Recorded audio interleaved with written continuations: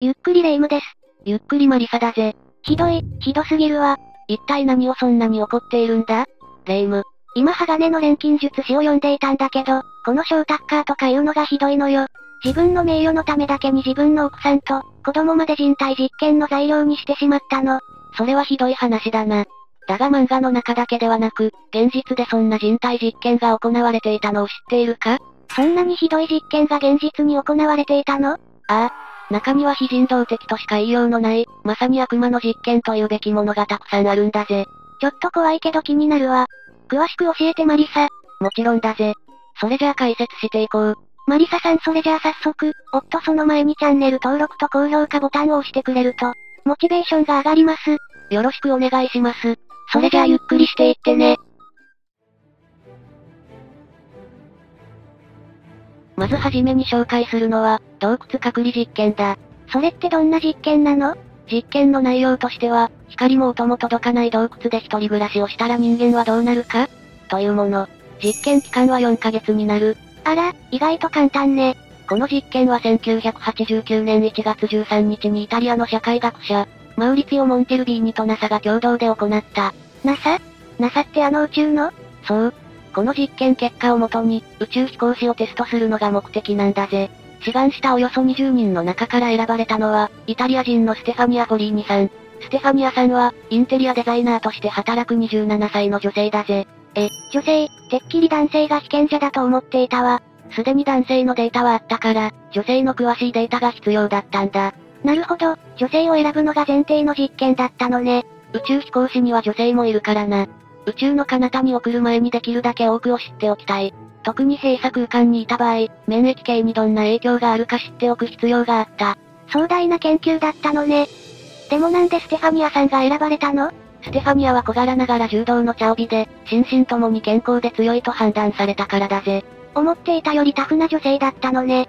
さてそんな国を挙げての一大プロジェクトは、午前3時にステファニアが洞窟に入ったことで開始した。洞窟内は涼しく、自然に接し20度に保たれた状態。生活できるように洞窟内には十分なスペースがあり、居住スペースはアクリル板で囲われていた。蛍光灯に照らされた居住スペースにあるのは椅子とテーブル、医療器具、連絡用のコンピューター。蛍光灯の明るさは調節可能だったものの、オフにして完全には暗くすることはできないようになっていたぜ。食料は彼女の好みに合わせて米やドライフルーツ、海藻など様々な種類が揃えられ、十分な量もあった。生きていくには困らない環境ね。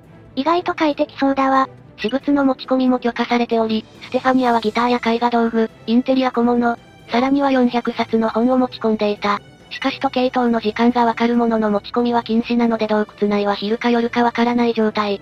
そして洞窟内にはカメラが設置していてプライベートは一切なし。音もマイクで拾われる。唯一プライベートが守られるのは、居住スペース近くの小さなバスルームのみ。そんな状態の中、ステファニアは洞窟の中に太陽や花の飾りを施し前向きに実験を開始した。彼女は洞窟の中で毎日何をするのかしら？一日のスケジュールは起床後に血圧、体重、心拍数の測定、そして血液と尿を採取し、指定の時間に洞窟の入り口付近に置く。その他決められた身体検査を行い、結果をコンピュータに入力してデータを送る。また不定期で脳波や運動機能の測定も行う。まとめると彼女の任務は毎日体の状態をチェックすること、たまに細かく身体検査をすることの主に二つ。あとは自由に過ごしていいのね。みたいだな。実験後しばらくは彼女に異常も見られず、毎日午前6時から9時に起床して規則的に生活していた。しばらくってどれくらい？異常が現れ始めたのは3週間経った頃からだった。ある日を境に正午以降に起きるようになり、その後1週間もすると、夜中に目覚めるようになった。徐々に生活リズムが狂い始めたんだぜ。もちろん彼女には、それが夜中だとはわからないのよね彼女はいつも通りに起きたつもりだったみたいだな。この時点で彼女の体内時計は壊れ始めていたようだ。それまで16時間ほどにしか起きていなかったのが、1日32時間以上起きているのが当たり前になっていった。倍の時間起きていてそれが当たり前になるなんてことあるんだ。実験中に彼女に7時間半ものインタビューをした後、彼女にどれくらいの時間インタビューを受けたか尋ねた。すると彼女は1時間くらいと答えたそうだぜ。え、7時間半を1時間？完全に時間の感覚が壊れているわね。1日の間隔が伸びたことにより食事をとる間隔も伸び、体重が減り生理も止まった。体に影響が出始めたわね。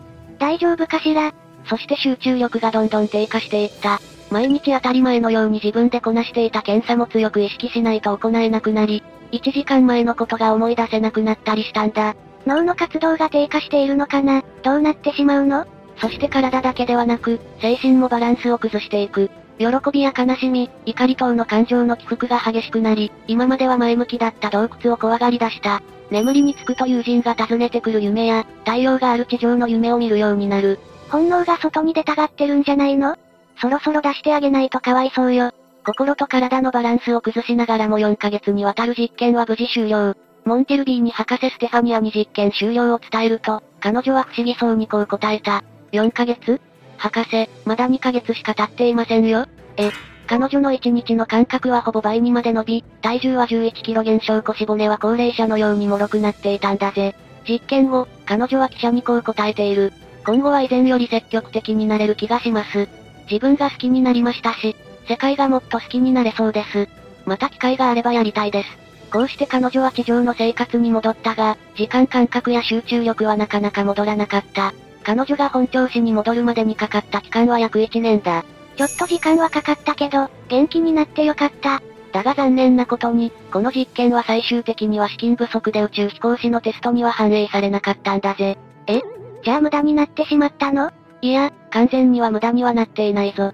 ステファニアの隔離実験の結果は、外実リズムの解明に貢献したんだ。外実リズム？人をはじめ多くの生物は体内時計を持っていることがわかっている。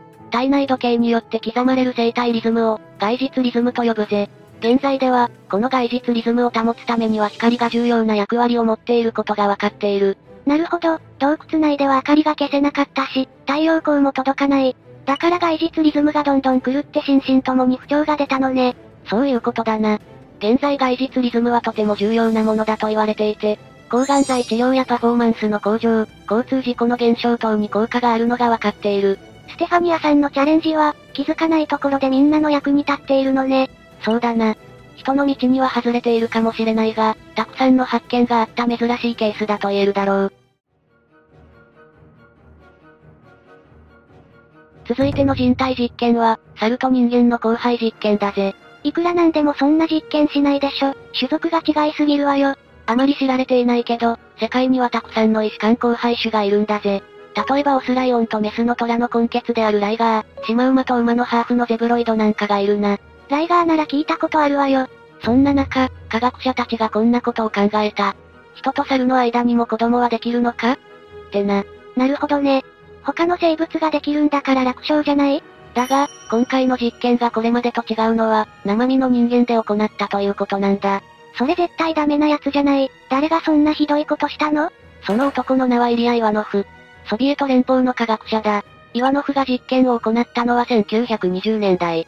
彼はチンパンジーやオランウータンを含む複数の猿に、自身の精子を注入したんだ。うん、まだこのくらいなら人に迷惑かけてないし。もちろんそれだけじゃない。イワノフはボランティアの女性にも猿の精子を注入しようと試みていたんだぜ。もうダメ。私ついていけないわ。それって成功したの？いや、その実験は全て失敗。イワノフの研究は、どんな種類でも妊娠状態にはならないと言われている。よかった。それがせめてもの救いね。しかし、実験に利用された人たちは全員死亡。イワノフに虐待されたのが原因だぜ。なんてやつなの。それでイワノフ自身はどうなったのこの実験を知った政府が激怒しカザフスタンに追放、その2、3年後に亡くなっている。それをもってこのひどい実験は一応幕を閉じているな。しかし、もともとこの実験は当時の指導者スターリンが命令したと言われているんだ。一体何のために？猿の身体能力と人間の頭脳を合わせ持つ、人間兵器を作るためだぜ。つまりイワノフは、ただ言われた通りにしただけ。すべての責任を押し付けられただけかもしれないんだ。少しかわいそうね。だからといって、彼の罪が軽くなるわけではないけれど、命を扱う研究は、それだけリスクがあるということだな。続いて紹介するのは、デーモンコアだ。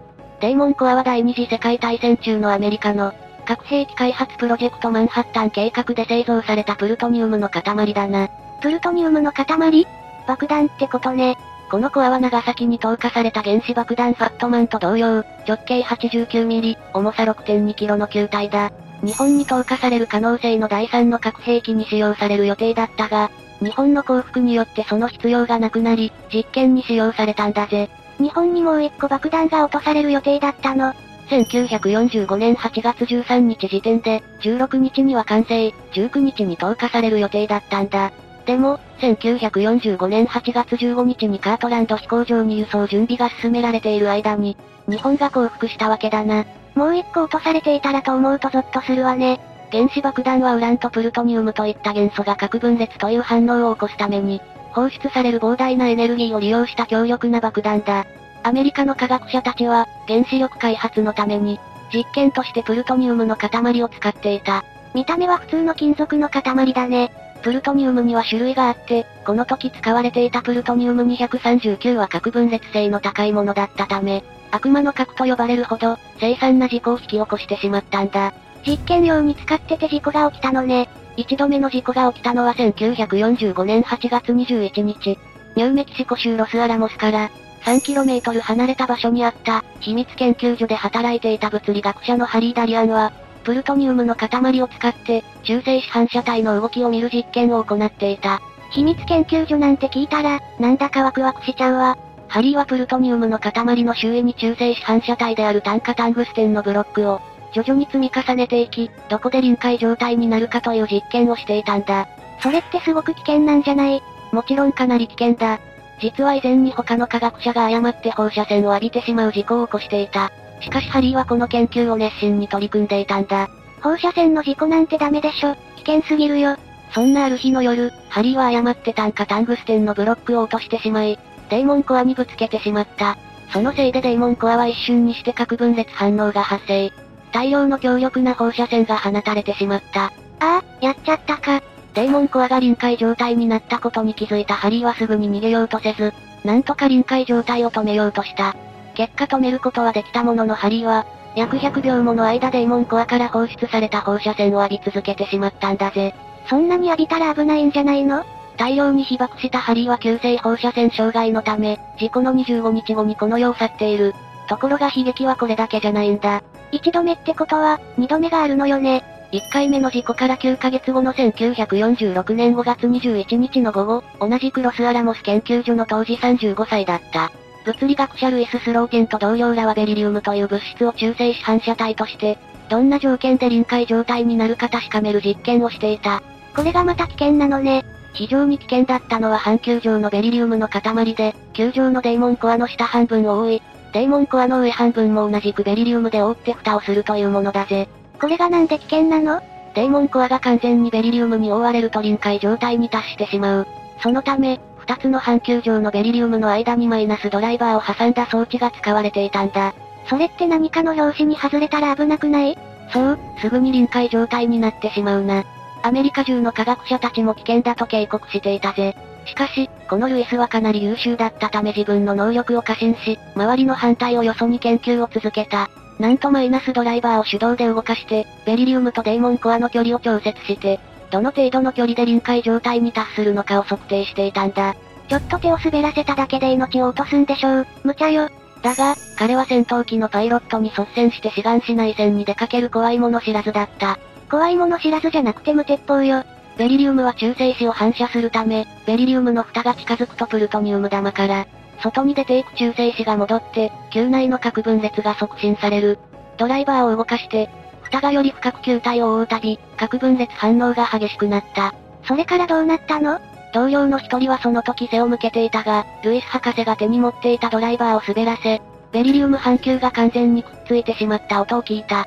振り返った瞬間実験現場から閃光が放たれ、同時に顔に熱波を感じたと語っている。ああ、ついにやっちゃったか。その瞬間ルイスは慌ててベリリウムの蓋を弾き飛ばして臨界状態を止め、周囲の同僚の命を守ったんだぜ。しかし大量の放射線を間近で受けたルイスは、放射線障害のため9日後に亡くなってしまった。やっぱり亡くなってしまったのね。まあ、デーモンコア実験は人体実験というより不運な事故なんだが、これらの核実験を経てアメリカはデーモンコアを使用するのは危険だと判断し、その後デーモンコアは溶かされ他の兵器を作るため再利用されたと言われている。優秀な科学者さんが、世の中から危険な兵器を一掃してくれることを願っているわ。次に紹介するのは、プアメイドの水滴実験だ。何それ？水滴を使うの？この実験はいわゆるプラシーボ効果の逆の効果、ノーシーボ効果を実証したものなんだぜ。プラシーボ効果って、薬じゃないの？を薬だって思い込ませるやつよね。その逆ってわかりやすく言うと、病は気からってやつだな。この実験は、プアメイドという一人の死刑囚を被験者にしたものだ。ある時彼はとある医者から医学の発展のためとある危険な実験を持ちかけられた。プアメイドは、どうせ死ぬなら人のために死のうとその実験を承諾。内容を聞かされたんだ。死刑囚だったんだ。どんな内容だったの？その実験の目的は、人間の体重の10%が全血液量だと言われているが、医師たちはそれ以上だと考えており、それを証明したいというものだった。つまり、人の血の量はもっと多いことを調べるのね。実験は開始され、目隠しをしたプアメイドの足のすべての指先がメスで切られた。そこから血液が足元に用意された容器に落ち、その音が実験室に響き渡る。うわ、なんか痛そうね。プアメイドには1時間ごとに累積出血量が告げられる。時間が経つにつれ、プアメイドの顔色は悪くなる。プアメイドは自分の体から血が抜けていくのを感じ、迫り苦しに恐怖していった。やがて実験開始から5時間が経ち、総出血量が体重の10%を超えたことを医師が告げた時、プアメイドはすでに死亡していたんだ。少しずつ血を抜くなんて、あまりにも残酷だわ。い、いくら死刑囚でもかわいそうよ。いや、実はこの実験では全く血液を抜いていないんだよ。もちろん傷もつけてない。え？どういうこと？プアメイドには足の指先を切ったと思い込ませ、ただ水滴の音を聞かせていただけ。そうすることで体内の血液が失われていると思い込まされていたんだぜ。だから水滴実験なのか。ってことは、プアメイドさんは思い込みで亡くなったの？この実験の真の目的は、人は思い込みで死ぬのか？というものだった。プアメイドの実験によって、人は思い込みで死ぬということが証明されたんだな。いや、これだけじゃわからないわ。もしかしたらたまたまかもしれないわよ。もちろんこれだけじゃない。とある病院で、末期の腎臓癌で余命数ヶ月と言われた。患者が死亡した事例もある。患者は告知後がっくりと気落ちし、みるみる体力を失い、告知された余命すら全うすることもできずに亡くなってしまった。末期患者仕方ないわね。だがそれは診断ミスで、この患者は全くの健康体だったのがわかっているぜ。これも思い込みなの？不思議ね。人間の体の構造は、まだまだわからないことが多い。とりあえず前向きに考えることが大事だな。最後に紹介するのは、ミルグラム実験だ。これは1963年にアメリカのイェール大学の心理学者スタンリー・ミルグラムが行った実験だぜ。わかりやすいネーミングね。この実験はミルグラムが、ナチスドイツでユダヤ人輸送の責任者を務め大落札にも深く関わっていた。アドルフ・アイヒマンに興味を持ったことで実現されたものなんだ。というのも人類史上稀に見る凄惨な事件の指揮的立場にあったこのアドルフという人物は、実はそんなことをしそうにもない人間であることが判明しているんだ。極悪人じゃないの？当初は誰もがそう思っていたぜ。だが彼は仕事ぶりは真面目で上司には逆らわず、結婚記念日には妻に花束を贈るような、一般的な人間だったんだ。この事実を知ったミルグラムは、ナチスドイツの戦犯たちは異常者なのか？それとも一般的な人間でも一定条件下では権威者の命令に従い残虐行為を犯してしまうのか？と疑問を提起し、今回の実験を行った。確かに興味深いテーマね。まずこの実験では先生役、生徒役、権威者役の3人が用意されたんだ。先生役には集められた被験者が、生徒役と権威者役は実験内容を知っている桜が割り当てられた。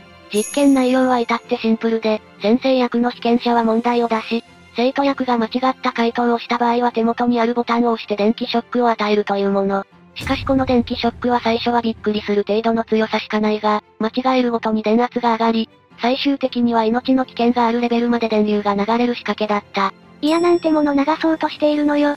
最後のボタンには注意書きとともに、流そうとすると警告まで流れる特殊仕様になっていたぜ。ただ実際にはどのボタンを押しても電流は流れず、電圧ごとに事前に撮影した桜の様子が、モニターで流される仕組みになっていたんだ。被験者だけが本当に流していると思い込んでいるのね。しかも桜の演技はかなり上手く、最初はうめく程度なのが電圧が上がるたびに、拷問を受けているように変化していく。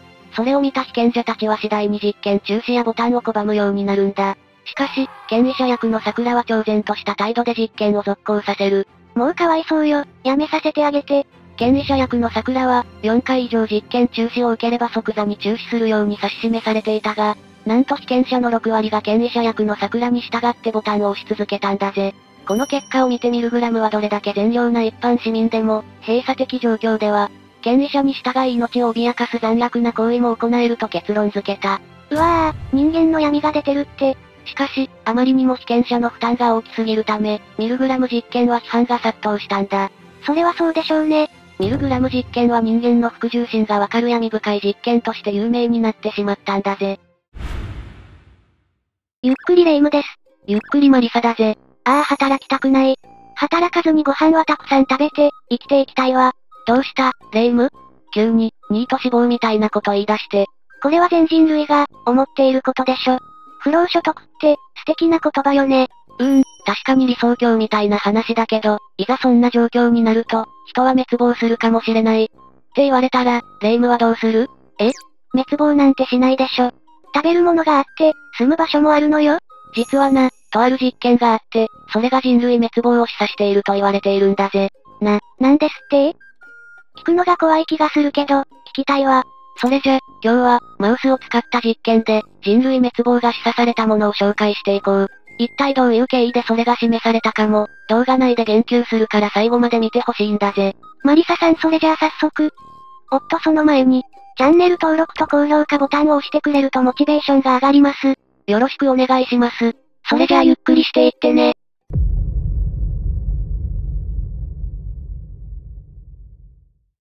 さて、実験の紹介に入る前に、レイムに一つ質問があるんだぜ。ええー、あんまり難しいことは嫌なんだけど。レイムは、もし人間が食うにも住むにも困らず、過ごせるようになったらどうなると思う？ええー、うん。とりあえず、人口自体は増えそうな気がするわ。働かなくても暮らしていけるのなら、子供を持つ人だって多くなりそうじゃない。うんうん、いい視点だな。それじゃ、実験の説明に移るんだぜ。今質問した意味は？今回紹介するのは、1968年から1972年にかけてアメリカの動物行動学者ジョン・ビー・カルフーンが行った、ユニバース25というネズミを使った実験なんだぜ。ユニバース 25? なんで25なの？実は、このユニバースという実験は、1から24まで行われていたんだ。なるほど、これが25回目って意味なのね。実は、この実験はネズミの繁殖を促す実験なんだけど、これまでの実験ではうまくいかなかったんだ。あら、どうして？カルフーンは、施設の都合上、繁殖スペースが、大きく取ることができなかったためと考えている。ああ、確かにスペースがないとダメだもんね。そして、これまでよりも大きく立体的で複雑な巣を作り、ユニバース25と名付けたんだぜ。何度も繰り返された実験なのね。この実験は、都市計画のシミュレーションとして行われたんだ。十分なスペースと無限の食料を与えられたら、ネズミはどのような社会を作り出すのか、というのが実験内容になるんだ。まさに冒頭の質問みたいな話ね。ネズミは一体、どうなったのかしら？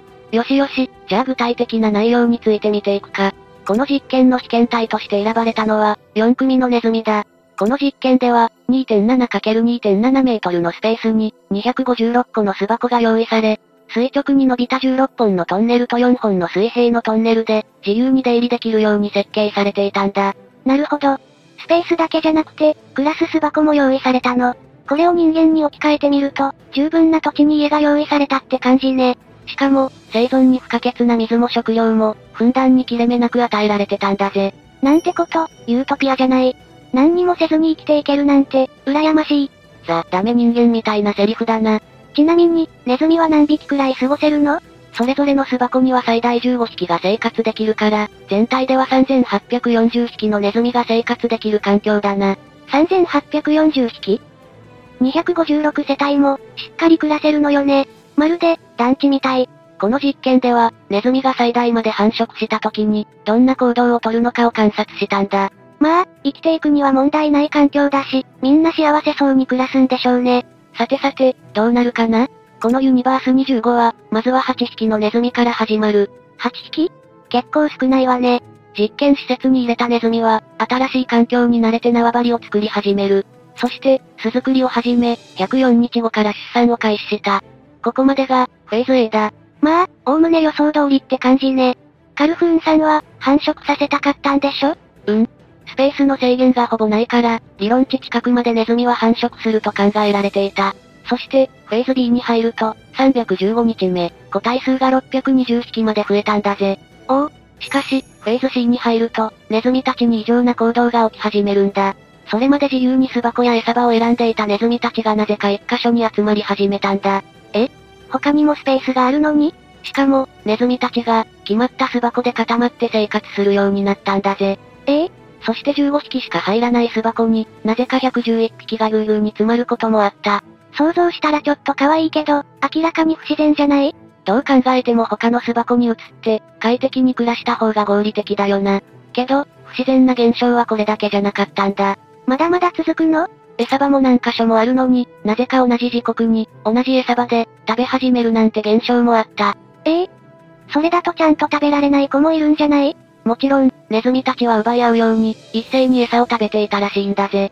ちょっと時間をずらせば、自分だけたくさん食べられるはずなのに、もしかして、ネズミってそういう習性があるの？いや、普通ネズミにはテリトリーがあり、このような密集状態を避けるはずなんだ。しかも、コミュニケーションを取りながら、規律ある行動をするのが一般的なんだぜ。じゃあ、習性のせいではないのね。そう。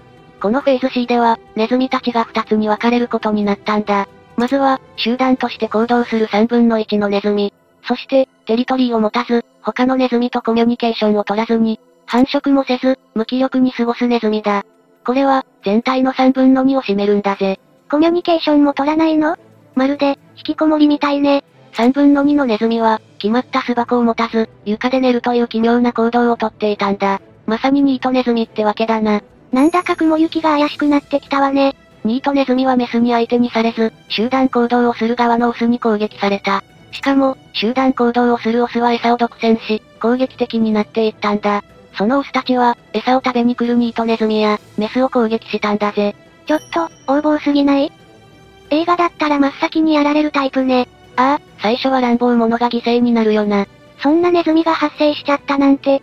カルフールは攻撃的になったオスたちを、アルファオスと名付けたんだぜ。彼らは凶暴で貪欲で、見境なく他のネズミを襲おうとしていたんだ。メスたちは出産してもオスが守ってくれないため、自分たちも攻撃的になっていく。その攻撃性はオスだけにじゃなくて、自分の子供に対しても向けられたんだぜ。負のスパイラルじゃない。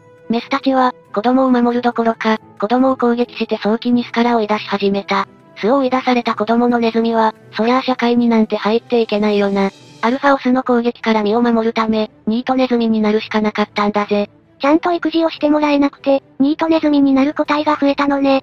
ここまでが、フェーズ C だ。ぶっちゃけ、ここまででも絶望感がすごいわね。なんで攻撃的になっちゃったのかしら。さて、そこに言及する前に、一旦この実験を最後まで見ていくんだぜ。お願いするわ。さて、さっきのフェーズ C では、攻撃的なアルファオスが出現したことで、子供のネズミたちが、ニートネズミになってしまったよな。フェーズ D は、この育児放棄されたネズミたちが、親になった世代なんだぜ。一応繁殖はできたのね。けど、ちゃんと子育てはできたのかしら？このネズミたちは、育児放棄されたために、社会性を学ぶことができなかった。だから、テリトリーも後輩も子育ても行わず、ただ食べて毛づくろいをするだけだったんだ。え？えネズミたちは、発情しても、オスがメスに求愛し、メスが巣箱に招き入れるという、求愛ルールがわからなかったんだぜ。確かに、社会性がなかったのなら、求愛もできなくてもおかしくないわね。発情したオスは、メスの後をストーカーのようについて回り、未成熟のメスやオス同士で継がおうとし始めたんだ。ああ、崩壊の足音が聞こえる。そして、この時期には乳児死亡率は急上昇し、90%に達してしまったんだ。ネズミの数自体も相当減ってるわね。そして全てのネズミがニートネズミになった時、暴力も争いもなく、ただ静かに彼らは生きていた。カルフールは彼らを美しい人たちと呼んだんだ。争いがないのはいいことだけど、これを見てるとそうとは言えないのかも。争いは確かに避けなくちゃいけないことだけど、争いが競争を生み、発展につながるのも事実だからな。なんて恐ろしい実験なの。そしてとうとう560日後、メスのネズミによる出産が停止した。最大2200匹まで増えたネズミたちは、猛スピードで減り始めたんだぜ。子供のネズミが生まれなかったものね。減るのは当然か。920日後、最後のオスが死んで、ユニバース25のネズミたちは全滅した。終了するまでに、このネズミたちを、他の環境に移す計画もあったんだけど、結局他のネズミの集団に入れられても、彼らはただ毛づくろいをして暮らすだけだったんだぜ。もうどんな環境にあっても、繁殖をする気がなくなっちゃったのね。さて、この実験では、個体数があるラインを超えたネズミたちは、わざわざ過密する場所を選び、少し無茶な場所であっても、集団行動を好んだ。ここの時点では、まだ共同作業と呼んでも、まあ問題のないラインだったな。けど、この後が問題なのよね。そして、餌を独占する強者のネズミと、弾き出された弱者のネズミが生まれたな。そして、階級社会が生まれてしまった。この時期に、アルファオスも発生したのよね。弱者は社会性を失い、強者はより暴力的になって、子供さえも殺すようになったんだぜ。他に餌があっても、強者の独占する餌を欲しがり、他に巣箱があっても強者と一緒にいようとした。そして、子供たちはニートネズミになって、繁殖行動もしなくなって、生き残った子供ネズミたちは成長しても、社会性が全くなかったな。はじめは食って寝ていれば生きていけると思ったけど、次の世代に繋いでいくことができなくなるのね。さて、ここまでがユニバース25の実験の詳細だ。レイム、どうだった？本当に、怖い実験だったわ。まさか攻撃的なネズミがあんなに生まれて、育児放棄があった結果、最後にはみんな何もせずに死んでいくなんて。さて、ここからが本題なんだけど、実はこれ、人間に当てはめるとどうなると思う？そういえば、そんな話だったね。人間に当てはめると、う。今、人類は80億人を突破していて、1950年の約25億人からは激増しているな。この状況、ちょっとユニバース25に似てないか？確かに、生存数の増加はしてるわね。実は、米ワシントン大学は2064年に97億人をピークに、世界人口は減少すると予測しているんだ。そこから減少していくってこと？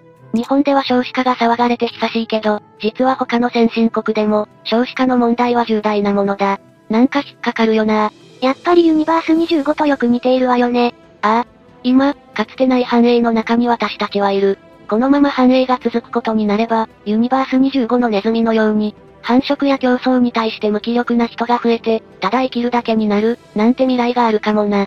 そんな未来、怖すぎるわ。もし、このユニバース25が、人間にも当てはまるのなら、現在の人口減少は、生物としての必然ということになってしまうな。何か防ぐ手立てはないの？とりあえずいくつかの手段は考えられる。まず一つ目の手段としては、一つの場所に密集しないようにする、ことかな。ああ、実験でも、強者のネズミが集まる場所に、ニートネズミたちも集まっていたわね。その結果、強者ネズミたちの攻撃性が上がったんだっけこれを人間の社会に当てはめるとすれば、都市に人口を一点集中するだけじゃなくて、いくつかの地域に分散させていく、なんていう対策が考えられるな。確かに、最近では都会に進出する人がどんどん増えて、田舎に残る人は少なくなってるわね。人が密集して、結果、格差社会が、拡大していってしまうから、ユニバース25になぞえるのならば、そもそも密集させることを回避すべきだわ。まあ、これはあくまで理想論の話で、実際は難しい気がするけどな。なんか、都会って成功者の集まる場所って感じがするし、この感覚はネズミたちと同じなのかな。そういえば、ネズミたちも成功者の集まる場所に、どんどん集まってきていたもんね。そう考えると、なんかすっごい親近感が湧いてきたわ。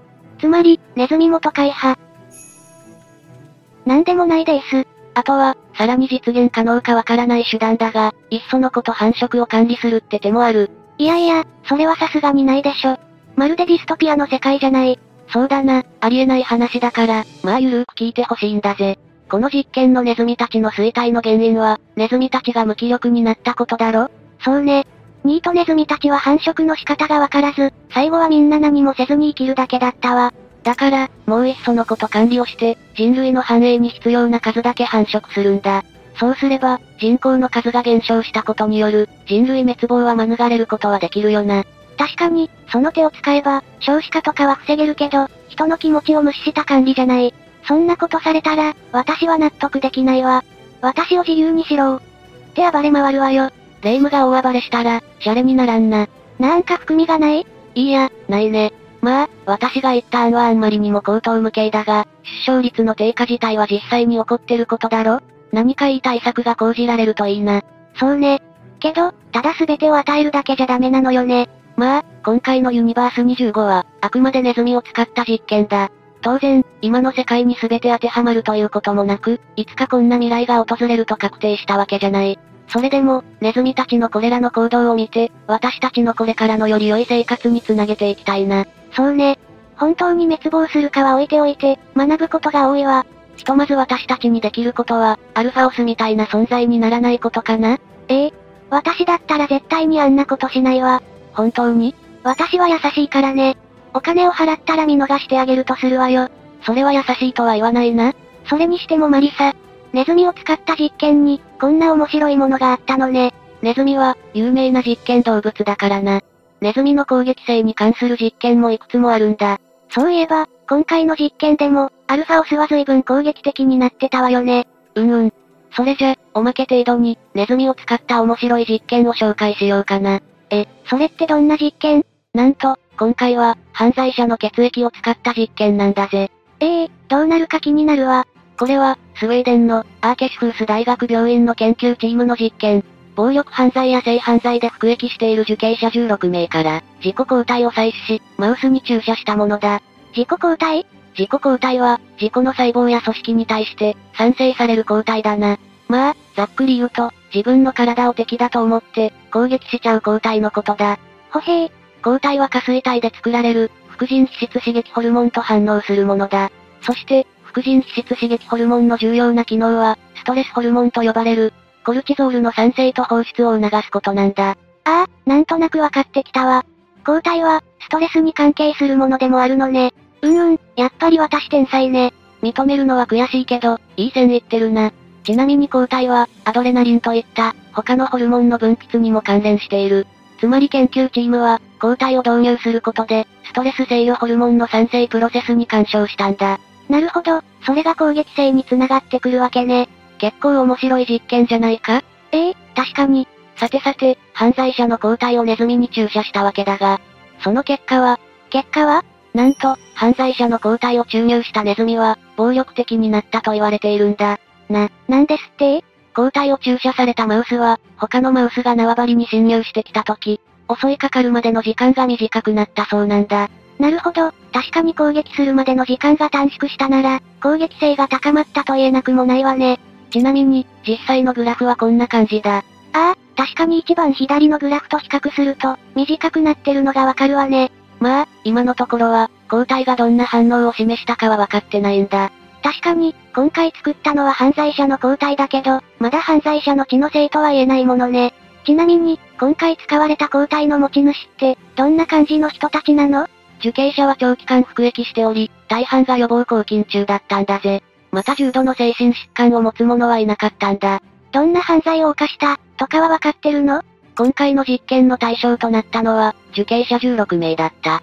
その受刑者のうちの11名は、1回以上の殺人あるいは殺人未遂を犯している。また1名はギャングの構成員で殺人を犯し、4名は強姦などの暴力的な性的要素を伴う暴行を働いた。ひえマリサ、そんなことをしていたなんて。いや、別に私がやったわけじゃないんだが。まあまあ、いいじゃない。ちょっと重たい話が続いたから、ジョークよ。研究の中心人物セルゲイ・フェキソフ氏は、縄張りの主がマウスをすぐに襲うようになった。ここから伺えるのは、この抗体が暴力的な人間と、そうでない人間を分ける理由の一つかもしれない、ということです。と、語っているんだぜ。まだまだ確定事項ではないとはいえ、そういう抗体があるんだとしたら、興味深いわね。もしかしたら血液検査で、その抗体を持っているかどうかがわかる未来が来るかもまだまだ研究は進んでないけど、結構面白そうな仮説だよな。もしそんな未来が来たら、犯罪に対する衝動を抑えるのに活躍するかもだぜ。まあ、そうした方が、平和になるわよね。けど、その抗体のせいで差別も生まれそうで怖いわ。これはさっきのユニバース25にも繋がるけど、過度な管理社会にはデメリットも大きいな。ただ、実際に現実には、どうしても犯罪の衝動を抑えられない人がいる。ああ、クレプトマニアが有名よね。その人たちの衝動を抑える上で、重要な役割を果たす実験であるとも思うぜ。やっぱり科学って、人間の進歩に重要なのね。ざっくりまとめてきたな。とはいえ、今回はネズミに対して、実験しただけなんでしょ？うん。しかも、数も少なかったと研究チームは言っているな。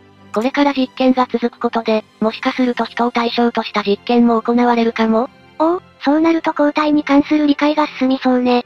ネズミと人間だと、やっぱり思考に違いがありそうだし。そうだな。体の大きさや生活は違うんだし、また違った結果が出てくるかも？ちなみにマリサは、いつ抗体を注射されたの？うーん、そうだな。私は、今から5年前くらいに。って、私は別に凶暴化してない。それにしても、今回はまるで SF みたいな実験だったわね。ユニバース25は、SF でいうところの、ユートピアみたいだったもんな。ユニバース25は、ネズミたちに十分な広さの土地と、巣箱を与えたのよね。ああ。しかも、食料も水も欠かさず供給されて、繁殖も生存も簡単にできる状態だ。そんな状態で放っておかれたらもちろん増えていくけどまさかあんなことになるとは。まさにユートピアが地獄に化した、なんて言っちゃいたくなる状況だったな。住む場所も食べる場所も平等なはずなのに、いつの間にかネズミの中に格差が生じた。ここでいう格差が何によってもたらされたかは、もしかすると社会性によるものかもしれないな。ああ、ニートネズミは、社会生活に馴染まなかったネズミたちだったもんね。そのニートネズミたちがアルファオスに迫害されて、育児放棄されたネズミがニートネズミになって、そして、最後にはみんな無気力になってしまったね。生きてはいるけど、繁殖も何もしなかったんだっけそうだな。縄張り争いも繁殖もせず、ただただ静かに暮らしていたんだぜ。一見すると、平和な世界ではあるけど、結局最後にはネズミは全滅したのよね。ああ。子供を作れない社会では、結局じわじわと数が減っていくだけだからな。やっぱりユニバース25は、興味深いよな。レイムはどうだった？なんだかニートネズミに親近感を覚えて、私の未来はこうなるのかもと思ったわ。まあ、結構人間に近しい存在だよな。親しみが湧いちゃう、って人もいるんじゃないか？私もニートネズミみたいに、争わず昼寝だけして暮らしていたいわ。お前は単に昼寝したいだけじゃないのか？うっふふふ。私は、二つ目の実験も面白いと思ったのよね。抗体が攻撃性に関係するかもしれないんでしょ？ああ。あれは信憑性がまだちょっと怪しいけど、興味をくすぐられる実験だったよな。ええ犯罪者の抗体をネズミに移植して、あんなデータが取れるとは思ってなかったわ。もし本当にあんな抗体があるのなら、うまく使えば稼げるんじゃないかしら？さっきまで科学について語っていた奴が、何煩悩にまみれたことを言ってるんだ？まあまあまあ。聞いてよ、マリサ。なんだ？ほら、マリサも言ってたじゃない。科学の進歩は、人類の未来につながるって。まあ、そんな感じのことは言ったな。それで、私のお財布の進歩だって、人類の進歩につながるとは思わない？そう考えると、私が科学を金儲けに使うのは、合理的ってことよ。はいはい、言ってる意味は全くわからんが、レイムの言ったことはよくわかったよ。はぐらかさないでよ。はいはい。ユニバース25、実験自体は怖かったけど、状況自体は楽そうな場所だったわね。何考えてるんだ？何も働かず、家はあって、水も食べ物だって、無限に供給される。そうすると、私は面倒な奴の相手もしなくて済んで、毎日毎日昼寝三昧。まるで天国じゃない。けど、そんな状況下のネズミが、あんな目にあったのは覚えてるだろ？いえ、私だったらなんとかなる気がする。私は聖職者とも呼ぶべき、心清らかな人間。社会から迫害されたニートネズミにも、金を要求してから受け入れるわよ。ネズミには、金を払う能力がないんじゃないか？じゃあ、仕方ない。私が、ネズミになるしかないわね。私は今からネズミになるから、マリサは私に食料と水を供給してちょうだい。私はそれを受け取って、昼寝をしながら、どんな人間になるのか観察させてあげるわ。んあ、ちゃんとユニバース25に合わせて、私が要求したらおやつも渡してね。はい、じゃあ今からネズミになるわよ。そうか、レイムがネズミなんだったら、すぐに外に連れてかないといけないな。くそ、マリサは騙されなかったわね。あんなアホみたいな芝居に引っかかる奴いるか。ゆっくりレイムです。ゆっくりマリサだぜ。あれ、マリサ。何を見てるの？木の絵みたいだけど、なんかごちゃごちゃしてるね。これは系統樹といって、生き物の進化の過程を木のような図で表したものだぜ。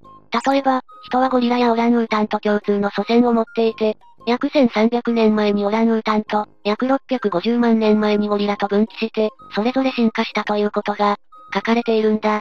系統樹か、初めて見たわ。意外な生き物同士が親戚なんてあるのかしら？もちろん。例えば、アルマジロ、アリクイ、怠け者は遠い親戚になる。とはいえ、もうほとんど違う生物になっているがな。何もかも違うのに、不思議な感じがするよ。まあこんな感じで、どんな生き物でも祖先がいるはずなんだ。なのに他の生物との関わりがなく、ある日突然現れたとしか思えない生物が存在するんだぜ。だから、系統樹を見ながらその理由を考えていたんだ。へえ、ある日突然現れた生物か。どんな生き物か、すごく興味があるわ。詳しく教えて、マリサ。もちろんだ。それじゃあ解説していこう。マリサさんそれじゃあ早速、おっとその前にチャンネル登録と高評価ボタンを、押してくれるとモチベーションが上がります。よろしくお願いします。それじゃあゆっくりしていってね。それじゃあ紹介しよう。あらゆる進化系統に属さない人間から発見された未知なる生物、オベリスクだ。人間から発見されたってことは、ウイルスとか細菌なの？いや、ウイルスや細菌とはまた違うものだな。じゃあ、微生物とか？全く違うな。分類するのが難しいが、ウイルスと細菌の中間というのがわかりやすいだろう。ウイルスと細菌の中間？ものすごく小さいのはわかるけど、違いがよくわからないわ。ならまずは、ウイルスと細菌の違いから説明しよう。細菌とは、単細胞生物の仲間で細胞分裂によって増殖する特徴がある。生き物の最小単位である細胞一つで体が構成されており、代表的な例では、大腸菌や黄色ブドウ球菌、納豆菌や乳酸菌が広く知られているな。納豆菌とか乳酸菌って、体にいい影響を与えるのに細菌の仲間なんだ。レイム、例に挙げた細菌の共通点は何だかわかるか？共通点そうね、すごく小さいとか？正解は、生物であるということだ。わかりやすく言えば、自分で増殖できるということだな。どういうことかしら？現在の生物学では、自分の力で生きることの可能な、代謝できるものが生物と定義されている。つまり、栄養さえあれば自力で増殖。成長できる細菌は小さくても立派な生物に属しているんだ。なるほど。でも、こんなジャンルがあるってことは生物以外もあるってことだよね。その通り、ウイルスがそれに該当するぜ。ウイルスは細胞で構成されておらず、単体で増殖することができない存在だ。あれ？じゃあ、インフルエンザとかノロウイルスとかはどうやって増えているの？ウイルスは他の生物の細胞を乗っ取り増殖することがわかっているぞ。乗っ取るって、随分おっかない増え方するわね。まるで寄生虫みたい。体内に入ったウイルスは細胞に入り込み、細胞の力を借りて自分の分身を作らせた後、用済みになった細胞が破裂。中から大量のウイルスが飛び出して咳や鼻水などで外にばらまかれる。こうしてウイルスは生き物の間を渡り歩き、数を増やしていくんだ。細菌も怖いけど、ウイルスもまた違った怖さがあるわね。こういった生態から、自分で増殖不可能な代謝できない存在であるとされ、非生物と考えられているぜ。つまり、バイオハザードの T ウイルスやウロボロスウイルスは生物ではないってこと？そういうことだ。他にも寄生虫や古細菌など様々なものが存在しているな。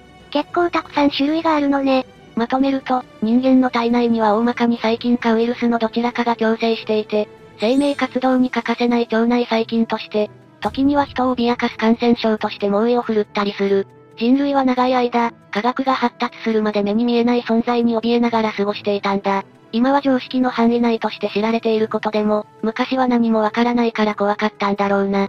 でも、この話とオベリスクがどういう関係があるの？それはな、このオベリスクを発見したのはウイロイドという病原体を探している時に、たまたま発見されたものだからだぜ。ウイロイド？また知らない名前が出たわね。ウイルスの仲間かな？ウイルスや細菌の先祖のようなものらしい。というのも、ウイルスとはまた違った特徴を持つことがわかっているんだよ。何がどう違うの？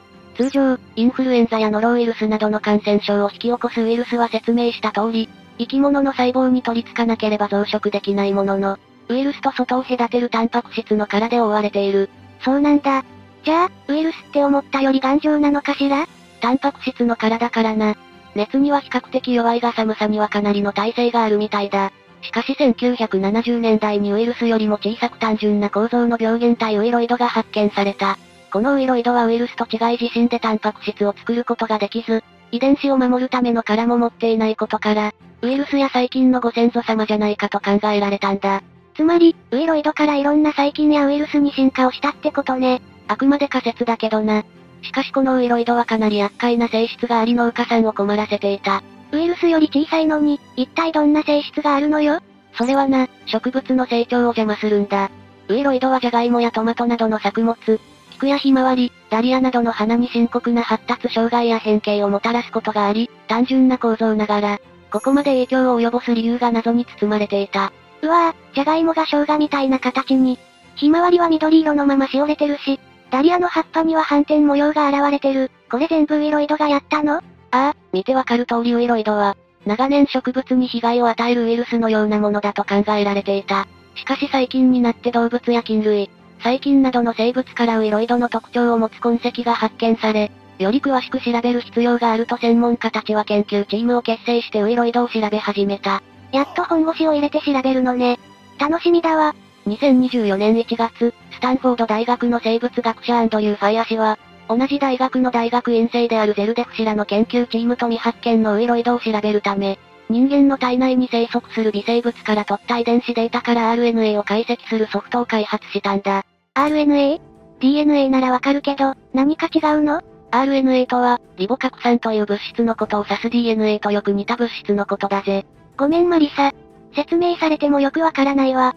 DNA は細胞の中心にある細胞核の中の染色体、さらにその中に二重らせん構造のもの。RNA はそれ以外の細胞質と呼ばれる部分に含まれているんだ。うーん、なんとなくはわかるけどどう違うのかがわからないよ。専門用語を使わずに説明すると、DNA とはその生物の設計図のようなものだ。これのおかげでみかんの木にはみかんがなり、レモンの木にはレモンがなる。人間も同じで、人間が人間として生まれるのも DNA の作用なんだぜ。つまり、たくさんの情報が保管されているのが DNA なのね。対して、その遺伝子からタンパク質になるのを助けているのが RNA。RNA は、DNA の情報を読み取ってそのコピーを作り、新たな細胞を作る手助けをするんだ。つまり、DNA は体の設計図を作る建築士さんで、RNA はそれを元に体を作る大工さんってことかしら。大体そんな認識で合っているぞ。DNA と RNA の両方があって体が作られているわけだ。研究チームが行っていたのは、このウイロイドの RNA を人間の体内から特定するというもので、解析の結果、研究チームは約3万種もの RNA を発見し、それが棒のような形をしていたことから、古代エジプトで作られた四角柱のモニュメントにちなんでオベリスクと名付けられた。もともとは柱の名前だったんだ。でも、随分大きな柱ね。大きなものだと、高さが19メートル以上あるからな。よくあの時代に作ったものだよな。そんな経緯で発見されたオベリスクは、他の RNA より構造が単純ながら、ウイロイドより複雑という、ややこしい特徴を持っていたんだよ。じゃあ、今まで発見されてきたウイルスとか細菌なんかとは違うものなのね。そうだな。専門家に言わせると、細菌でもウイルスでもウイロイドでもないという、今まで誰も見たことのない、完全に未知の新しい生物的存在として関係者たちを悩ませているそうだぜ。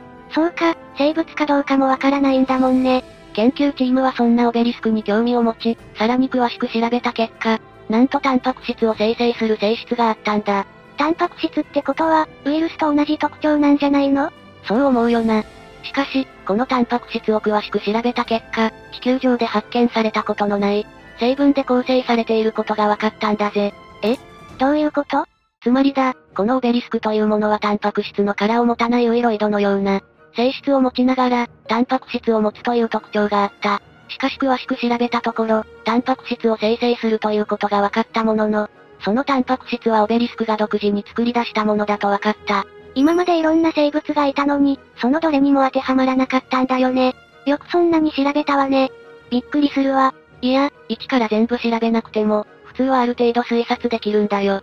なんで ?10 個や100個の比ではないんでしょう？例を挙げると、魚とクジラは哺乳類と魚類という違いはあるものの、どちらも水を泳ぐのに適したヒレを持っている共通点があり、進化の流れで全く共通点のない別の生物が同じ能力を持つことを修練進化というんだ。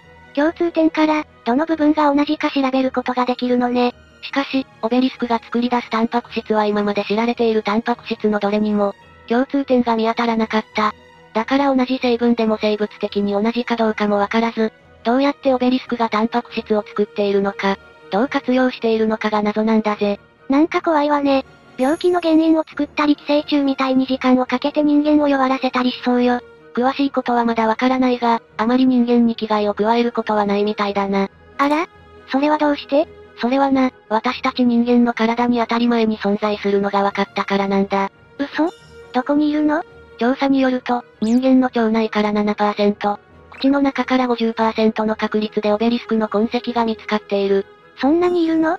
半分の人が口の中にオベリスクがいるなんて思わなかったわ。発見されたオベリスクの種類は提出した人や体の部位によってばらつきがあり、長期的なデータから人間は一種類のオベリスクを約1年間も保有していることが判明しているんだ。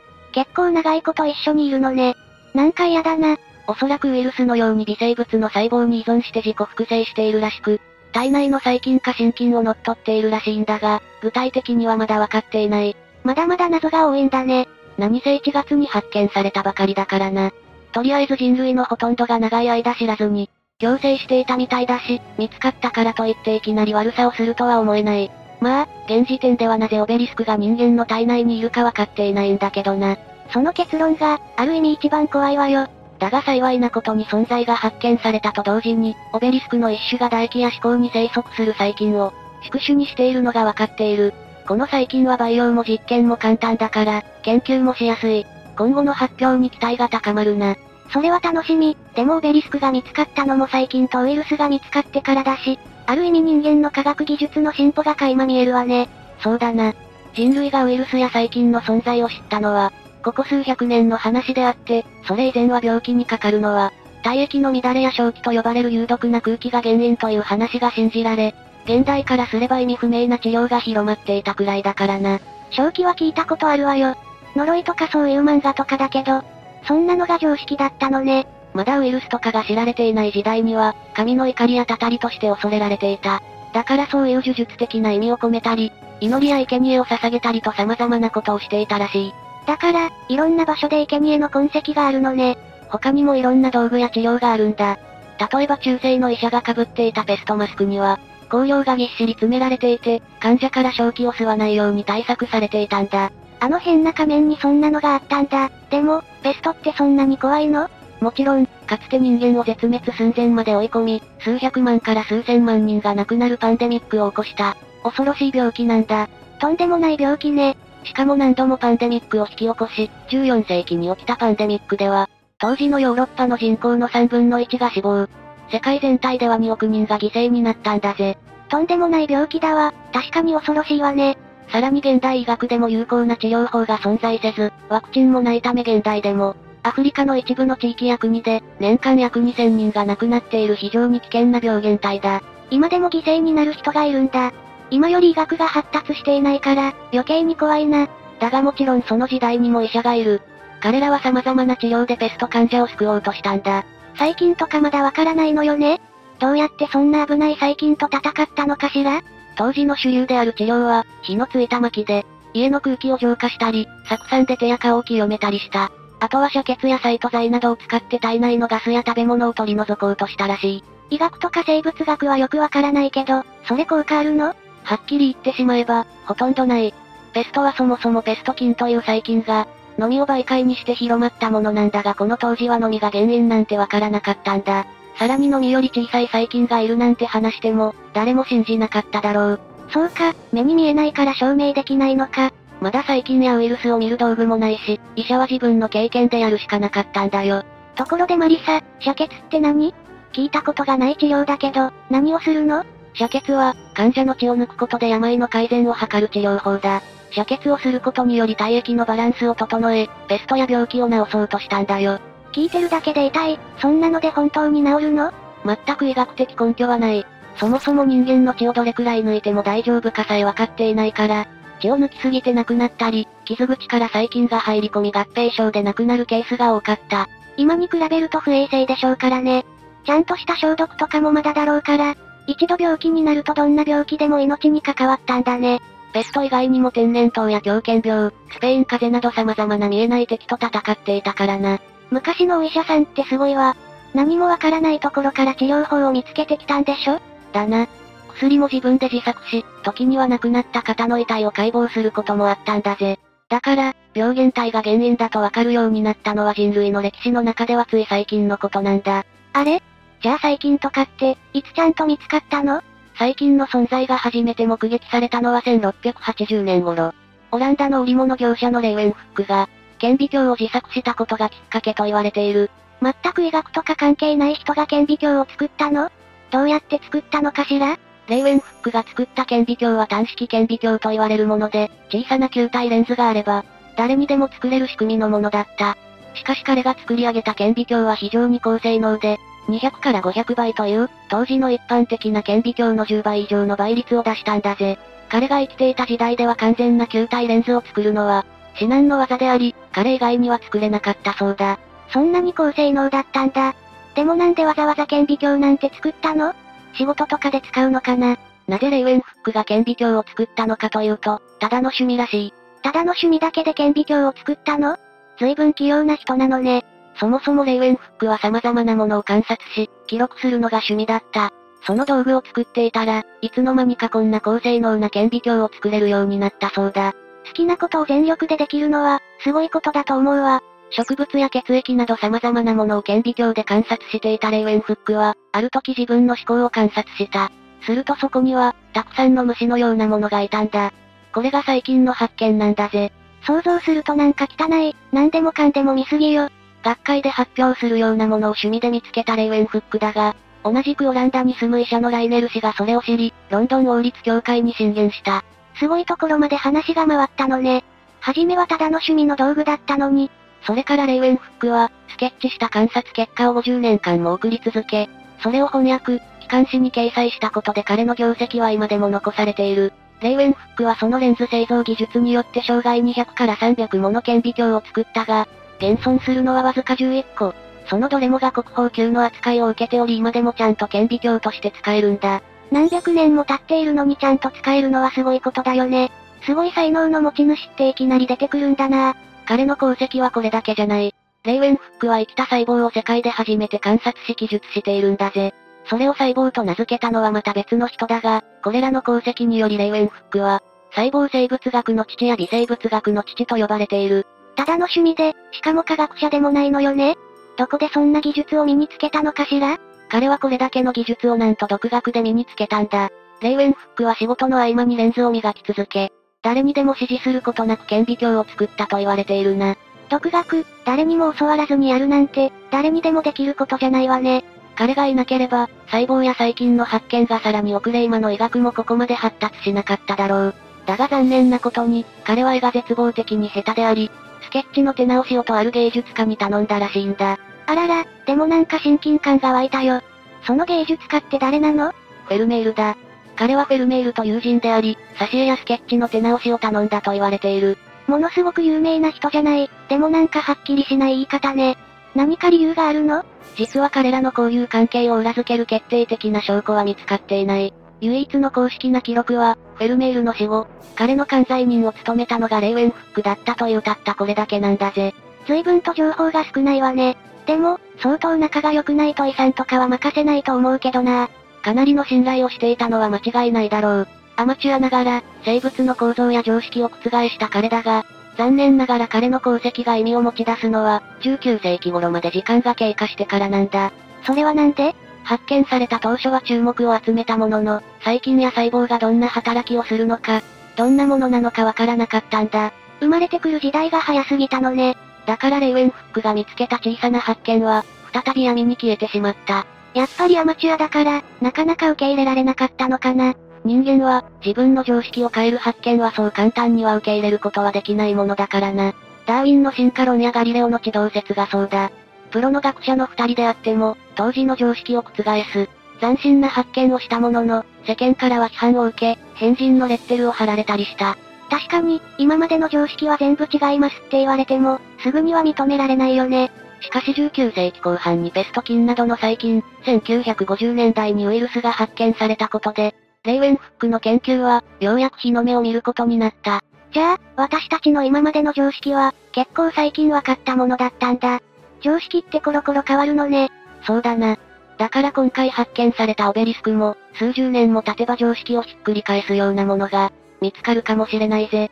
怖いような、楽しみなような。でも、私もレイウェンフックさんみたいにいろんな挑戦を、してみたくなったわ。ゆっくりレイムです。ゆっくりマリサだぜ。ああ、透明になりたい。そんでもって、その技術を使って、大儲けしたいわね。すべてを私の手にしたいわ。どうしたどうした透明人間になりたいのか？あら、マリサ。透明化技術って、みんなの憧れでしょ？成功したら大金持ちになれるしね。これ以上ないくらい、すがすがしい理由だな。とはいえ、叶わぬ夢でしょ。実はそんなことないんだぜ。なんと、透明化技術は今進歩してるんだ。そしてなんとなんと、生き物の透明化に成功した、驚きの実験結果もあるんだ。私たちの望んだ技術が、もう現実になってるの？それじゃ、透明化に関する技術について、話していこうか。なんと、人のとあるものを透明化させた実験も、動画の最後に紹介するからぜひ見ていってほしいんだぜ。マリサさんそれじゃあ早速、おっとその前にチャンネル登録と高評価ボタンを押してくれると、モチベーションが上がります。よろしくお願いします。それじゃあゆっくりしていってね。それじゃ、透明になれる動物について紹介するぜ。透明化できる動物？そんなのがいるのね。ああ。しかも、レイムも食べたことがある動物なんだ。え？七面鳥とか？食事が合成アピールにしてはニッチすぎるな。正解は、イカ。イカ？イカって、あのイカよね？透明になることができるイカ、カリフォルニアヤリイカは透明になれるんだぜ。へえ、なんか普通のイカって感じね。本当にこのイカが透明になれるの？今回、注目したいのは、カリフォルニアヤリイカのメスだ。まずはカリフォルニアヤリイカの説明をしよう。この生息域はアラスカ州南部からカリフォルニアだ。北米太平洋岸唯一のヤリイカ類なんだ。体は細く、頭側部も小さく短いんだぜ。じゃあ北米の人たちは、このイカを食べることが多いんでしょうね。このイカは、主に4月から6月に漁獲されるんだが、年間漁獲量が10万トンに達する重要種なんだ。イカの流通を一心に担ってるのね。取れ高が下がった年は大変なことになりそうだわ。このイカは、比較的安価で流通しているから、日本にも輸入されてたくさん食べられているんだ。私もあまり意識したことはないけど、きっと一度は食べたことがあるんでしょうね。そんな身近な生き物が透明になれるなんて。一体どういうメカニズムなの？実はこのイカの透明化能力は、体の色を変えられる能力を応用したものなんだ。ほら、見てもらえばわかる通り、イカの体の色が変わってるだろあら、幻想的ね。うっかり見とれちゃいそうだわ。どうしてイカの体の色が変わるの？イカの体色が変わるメカニズムとして、アセルチコリンという物質が関係してるんだ。アセ？アセルコチリンは神経伝達物質の一つで、細胞同士の連絡を助ける働きをする物質だ。人間の体内にもある神経伝達物質で、記憶や学習の助けになるんだぜ。な、なるほど。とりあえずその物質があるってことは分かったけど、透明化と何の関係があるの？カリフォルニアヤリイカのメスは、頭にある街頭膜を白から透明にできる。この白から透明になるメカニズムに、アセルチコリンが関係してるんだ。ほうほう。まず、さっき言った街頭膜の透明化には、白色素胞という細胞が密接に関わっている。白色素胞っていうのは、色素胞の一部で、細胞が運動すると色が変わる細胞なんだ。このイカが持っているのは、その仲間の白い細胞ってわけね。ようやく助かるぜ。このス胞に備わっている膜結合粒子は、リフレクチンっていうタンパク質でできている。このタンパク質の配置が変わると、光の透過率や反射率が変化するんだ。これがこのイカの膜が、白から透明になるメカニズムだな。ちょっとカタカナが多くて頭が痛いけど、リフレクチンの配置を変えると透明になるのね。そうそう。この、配置を変えるよう命令するのが、アセチルコリンってわけだ。アセチルコリンが命令を出して、リフレクチンの配置を変えて透明になるのね。一言で言うならそういうことだな。それで、人間にはその白色素胞はあるの？あれば透明になれるんでしょ？人間には自然に備わっているものではないな。ええ？じゃあ、意味ないじゃない、いかにしかできない芸当なんでしょ？と、思うだろ？その口ぶりは、なんと、カリフォルニア大学の研究チームが、このメカニズムを利用した透明化技術を発見したんだ。え、え？このチームは、人人細胞を改変して、リフレクチンを生産できるようにしたんだ。そんな技術が生まれたのね。けど、リフレクチンだけでいいの？以下の場合は白色素胞が透明化を助けたからな。人の細胞にも同じことが言えるか。レイムはどう思う？ええリフレクチンができたのもすごいけど、それで終わっちゃう気がするわ。そんな物質一つで透明化できるわけ？これが、できちゃったんだな。人間の技術、そこ知れないわ。チームは、リフレクチンを含んだ細胞を、塩化ナトリウムに浸したんだ。すると、塩化ナトリウムの濃度によって、光の透過率が変化することを確認したんだぜ。え、どうして？こうなる理由としては、塩化ナトリウムに触れて、リフレクチンの粒子が膨張することにある。その膨張によって、リフレクチンの並び方が変化するんだぜ。イカが体内でやっていたことを、塩化ナトリウムを使って再現できたのね。塩化ナトリウムの濃度を増やすと、光の散乱が増すから、細胞が不透明になるそうだ。じゃあ、逆に塩化ナトリウムの濃度を低くすれば、より透明化に近づけるのね。イカはこのような配置の変化を、アセチルコリンでやってたってわけだ。おう、おう。まだ細胞に関する透明化だけだけど、いずれ全身透明化できる未来が見えるわね。ちなみに、カリフォルニア大学のヤリイカ以外にも、透明化できる動物がいるんだぜ。ええ聞かせてほしいわ。それは、スマトラトビトカゲだ。トカゲも透明化する時代なのね。スマトラトビトカゲは、普段は森林に住んでいる、樹状性のトビトカゲなんだ。すごい、真っ赤な羽ね。ドラゴンみたいでかっこいいわね。そう、まさにドラゴンみたいなトカゲだ。この真っ赤な服翼はメスにしかないんだぜ。服翼ってことは、本物の翼もあるのね。このトカゲは左右に5から7本ずつ肋骨が伸長していて、その間に線状の皮膜を持っているんだ。この皮膜を使って、滑空することもできるんだぜ。ちょっと私の心の少年心が目覚めちゃうわ。このトビトカゲは、目立つために、喉のファンを透明化することがあるんだ。動物界って奥が深いのね。さて、ここまでが透明になれる以下と、それを応用した技術の紹介だな。細胞レベルとはいえ、透明化につながる技術が見れて、すごく興奮しちゃったわ。このまま技術が進んで、いつか透明になれるといいなふふ。なんと、透明化に関する実験はこれで終わらないぜ。な、なんですって？ネズミの生態の透明化に成功した実験って、興味あるか？細胞だけじゃなくて本物のネズミを？興味あるに決まってるじゃない。それじゃ、次はこの実験について見ていこう。生命の神秘、素晴らしいわね。さて、次に紹介するのは、カリフォルニア工科大学のチームの実験だ。動物の生態の透明化となると、本当にすごい実験ね。神経学科のビビアナ・グラディナル氏が、率いるチームが発表したのが、水生ゲルと海面活性剤を使った、ネズミの生態の透明化実験なんだ。この論文は7月31日に学術雑誌セルに、掲載されてすごい注目を集めてるんだぜ。そりゃ当然注目されるでしょ。私だって今興味津々よ。さて、じゃあ実験について詳しく見ていこう。確か、水性のゲルと、海面活性剤を使うのよねああ。この手法は、クラリティ法というものだ。説明すると本当にややこしいから、まずはこの二つを使うと思ってくれ。水性のゲルを動物の血液中に注入し、その後海面活性剤で余分な脂肪分を分解するんだ。その結果、透明化が達成されるという技術だぜ。ちょっと私には難しすぎる技術ね。とりあえず余分な物質をなくす方法なのね。それくらいの認識でいいだろうな。この方法を使うことで、細胞組織の膨大を引き起こさずに済むんだ。さっきの方法だと、細胞が膨張してしまったものね。なるほど。透明化技術って色々なものがあるのね。さて、この実験の話に戻るぞ。このチームは、マウスにさっきの二つを、血液中に注入したんだ。ふむふむ。そしてマウスにゲルと海面活性剤を注入した2日後、マウスには驚くべき変化が起きたんだ。なんと、肝臓、心臓、肺、腸などの臓器が、半透明になったんだぜ。そんなに早く効果が出たの？驚くのはまだ早いぜ。まだまだ解説は続くのね。なんと、マウスに投与してから2週間後、脳が半透明になり始めたんだ。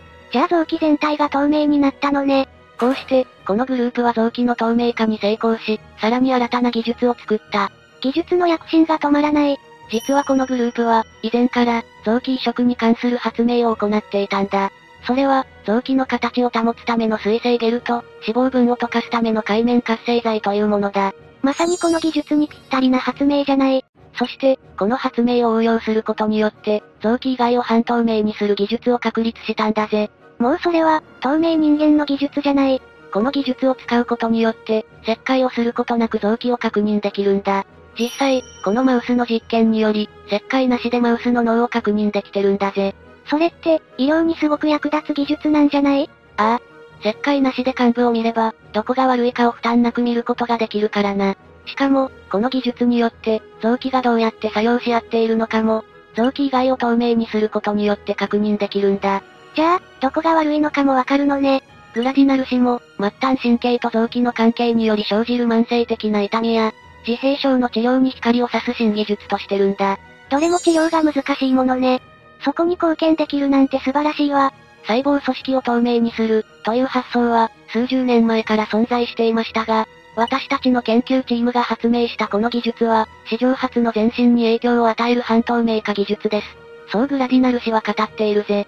うんうん、本当に素晴らしいわ。これはアメリカの実験だが、日本だって負けてないんだ。日本にも透明化の技術があるのね今から上田博樹教授らの共同研究グループについて、ちょっとだけ説明していく。彼らは、生体を透明化するための、生体色素の除去に取り組んだんだ。色がついていたら透明とは言えないものね。ここで教授は、光の散乱の原因となる脂質の除去、組織内の屈折率の均一化により透明化に成功する。しれっと言ってるけどこれだって、十分すごい技術よね。しかし、血液などの生体色素を多く含む臓器を、透明化させるのは難しかった。これを効率的に行う方法も、世界レベルに見ても存在していなかったんだ。それだけ難しかったのでしょうね。この問題を解決したのは、上田教授らの、開発したキュービック試薬という透明化試薬だ。キュービック試薬の構成要素の一つである、アミノアルコールが透明化に役立ったんだぜ。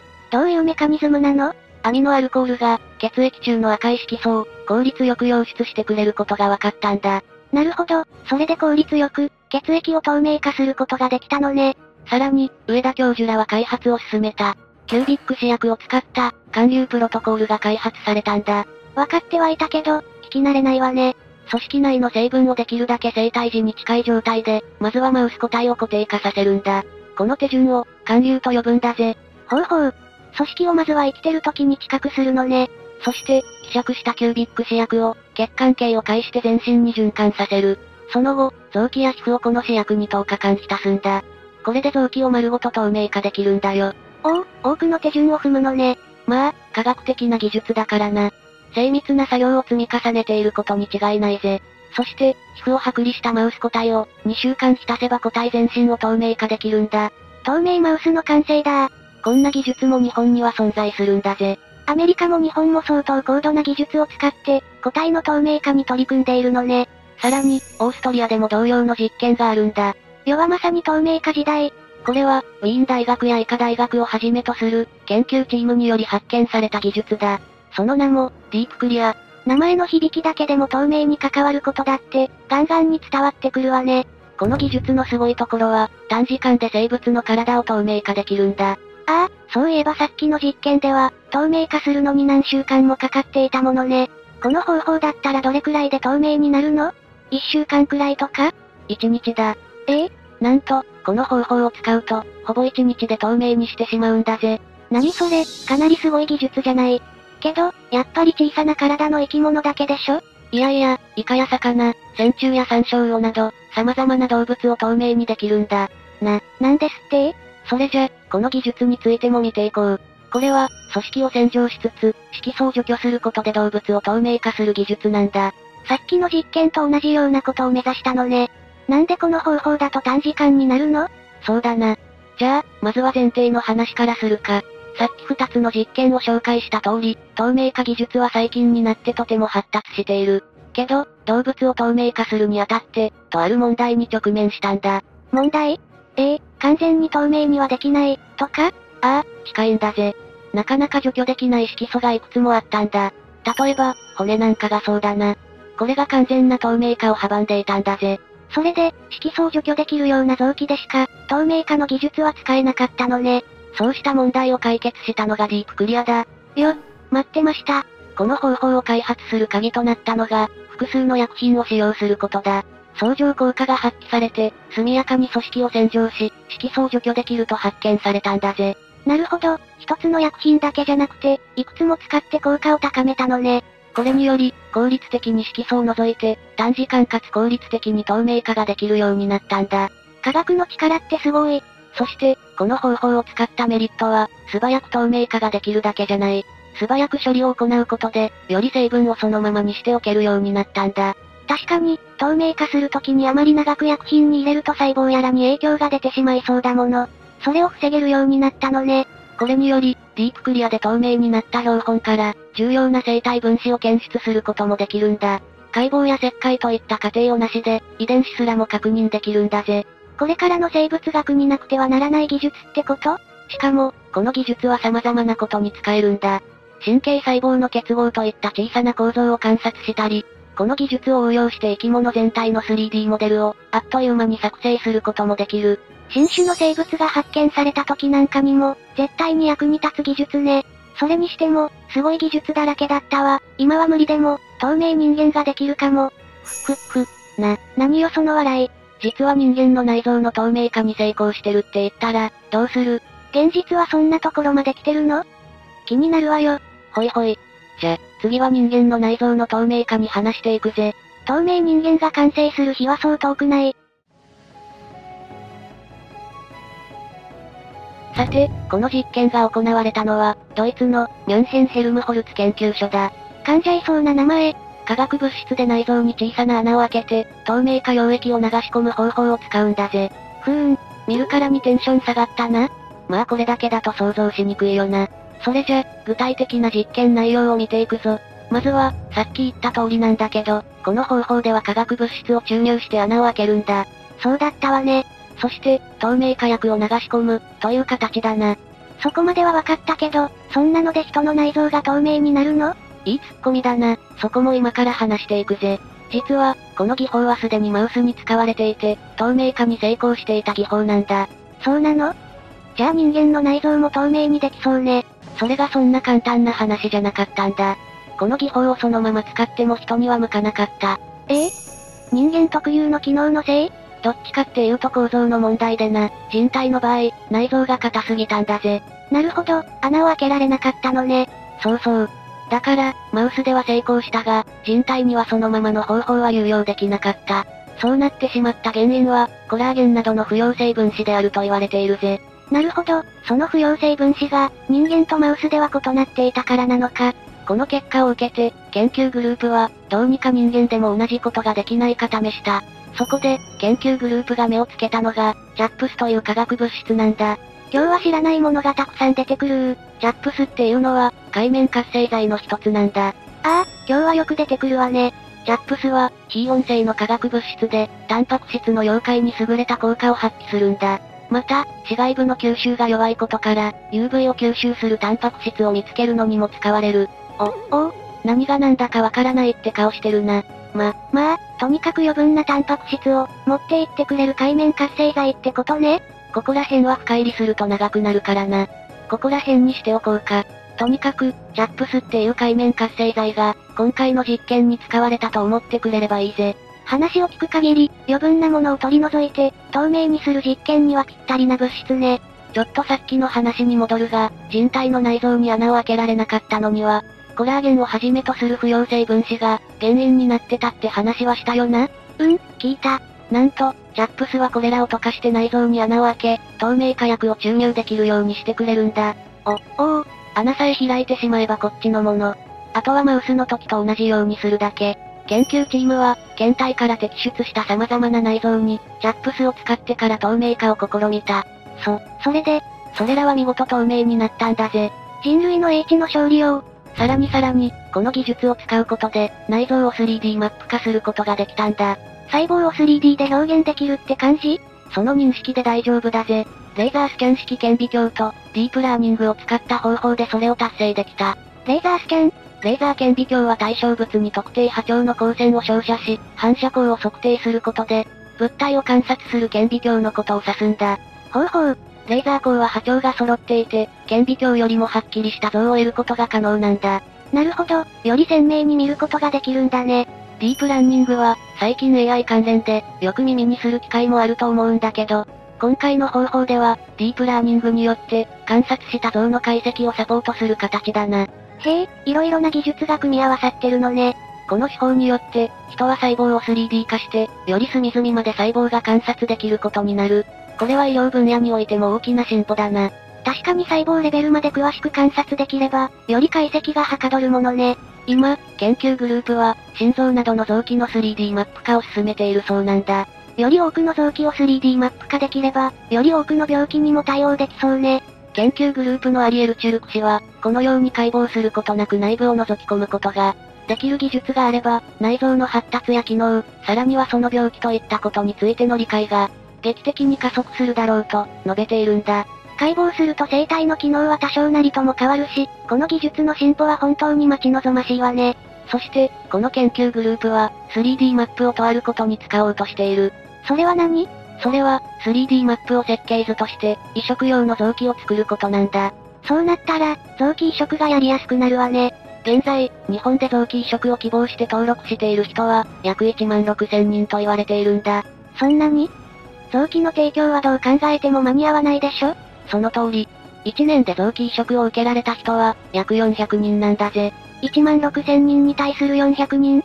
約3%の人にしか臓器が届いていないのね。さらに、日本ではそもそも臓器提供の確率自体、他の国と比べて少ないんだぜ。確かに、臓器提供となると死後解剖されるんだし、乗り気じゃない人も多いって聞くわね。アメリカでは、人口3億3200万人に対して、年間約1万4000人が死後に臓器提供している。臓器移植件数は約4万件と言われているんだ。おお、ほとんどの日本の臓器待機中の人を賄えるわ。これに対して日本は、人口1億2000万人に対して、死後に臓器提供する人は年間100人前後。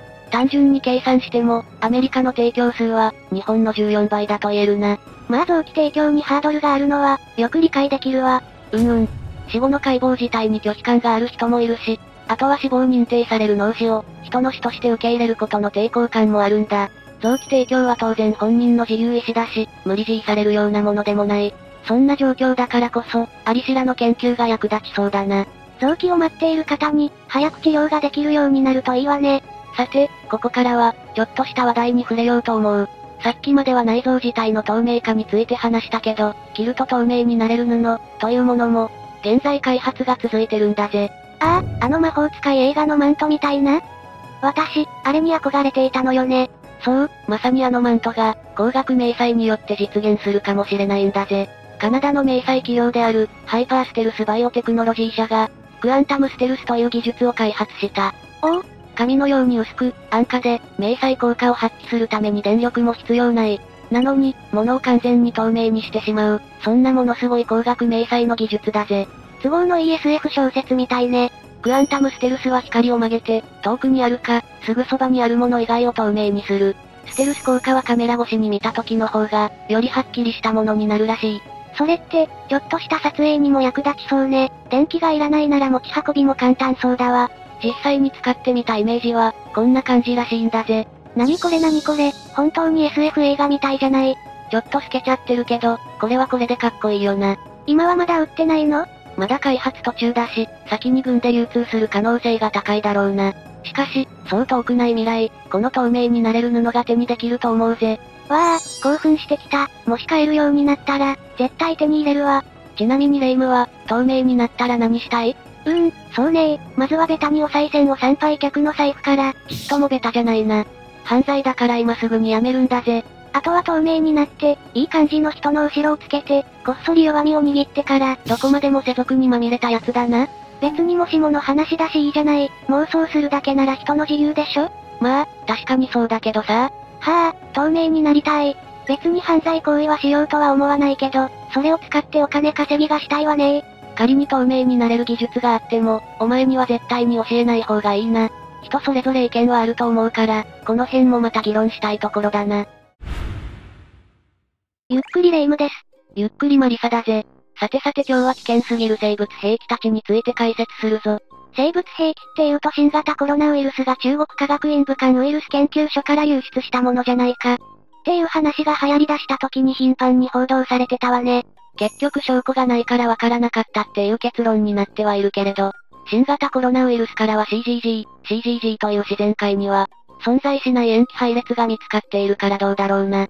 この塩基配列はウイルスの感染力を高めるなどの実験を行う際に注入されることが多いんだ。ほぼほぼ真っ黒じゃない。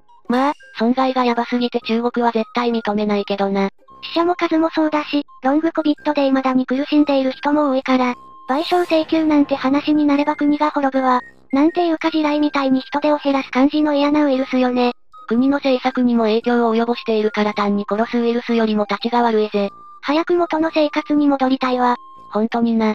マリサさんそれじゃあ早速。おっとその前にチャンネル登録と高評価ボタンを押してくれるとモチベーションが上がります。よろしくお願いします。それじゃあゆっくりしていってね。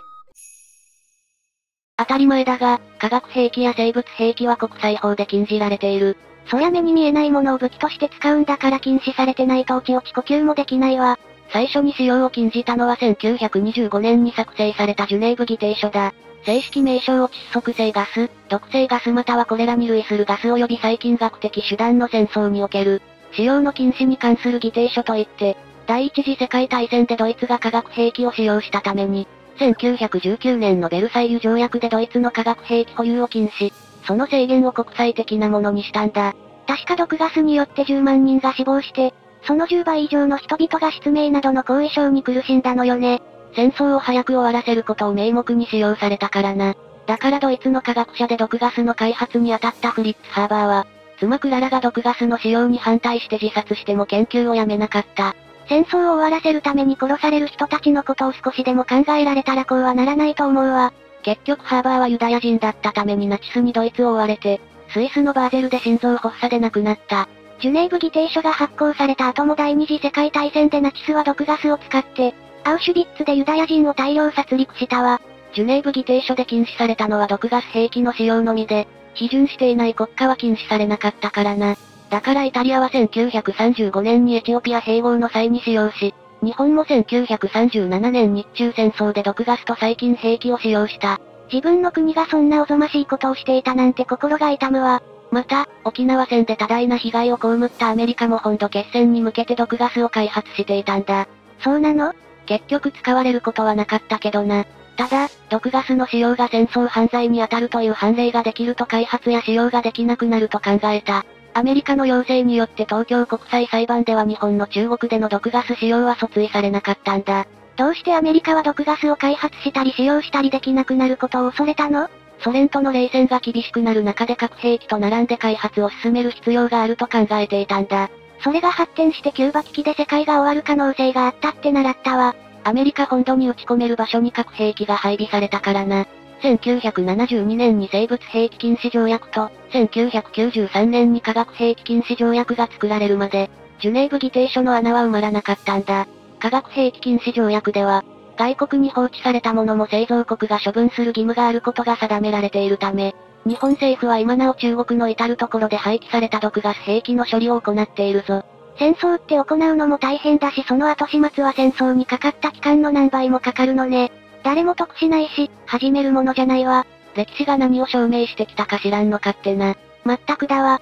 第二次世界大戦以降も毒ガス兵器は使用され続け、1980年から9年にわたって続いたイラン・イラク戦争では、イラクのサダム・フセイン政権が、クルド人の町ハラブジャで毒ガス兵器を使用して5000人の犠牲者を出した。この事件はハラブジャの悲劇と呼ばれ、フセインのいとこであるイラク国防省が責任を問われ処刑された。日本でも1995年にオウム真理教が地下鉄サリン事件を起こしたわ。だから日本は1997年に化学兵器禁止条約が発行されるとすぐに批准したんだ。化学兵器は核兵器と比べると比較的安価に製造できるから貧者の核兵器とも呼ばれている。チュニジアのジャスミン革命と中東で民主化運動が広がったアラブの春がきっかけで、2011年からアサド独裁政権下のシリアでは現在でも内戦が続いている。そこでもアサド政権がクルド人の村に対して再三毒ガス兵器を使用しているんだ。自分の国民に対して毒ガスを撒いてるってこと？ひどすぎるわ。人を人とも思ってないからそんなことができるんだろうな。今いる国民を大切に幸せにできない国に未来なんてないぜ。そういう国は例外なく滅んでいるものね。悲劇を起こさないためにも、絶対に生物兵器や化学兵器は作ったり使ったりしてはいけないんだ。兵器としての開発や使用は厳禁だが、病気の治療法確立のために扱うことは OK だ。だが、細菌やウイルスによって危険度が違うため、それに応じたバイオセーフティレベルの施設でないと取り扱いができないようになっている。バイオセーフティレベルって確か1から4まであるのよね日本では4の施設はあるけど住民との兼ね合いで稼働できてないって聞くわ。日本にはレベル4に対応した施設は3つあるが、レベル4として稼働しているのは1つだけだ。そうなのね。レベル1から4ってどういう違いがあるの？レベルはその細菌やウイルスの危険度を示すリスクグループというものに対応していて、レベル1、つまりリスクグループ1は人や動物に感染する可能性が低いもの、ワクチン株なんかが取り扱える。レベル2はインフルエンザなど感染はするけれど、感染拡大を食い止める方法や治療法が確立しているもの。レベル3は生死に関わる重篤な症状を引き起こすが、有効な治療法や予防法があるものだ。